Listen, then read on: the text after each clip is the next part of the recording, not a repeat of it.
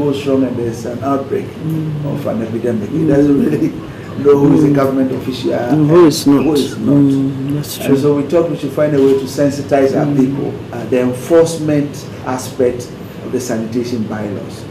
And so they, they call on me to make sure that we enforce the bylaws because we can have this National Sanitation Day several times, but if people are not punished for doing the wrong thing, they will continue enjoying to do it. The common of it all is that recently you see most people driving in very nice cars and then they just lower the side window and throw something out and uh, nothing happens.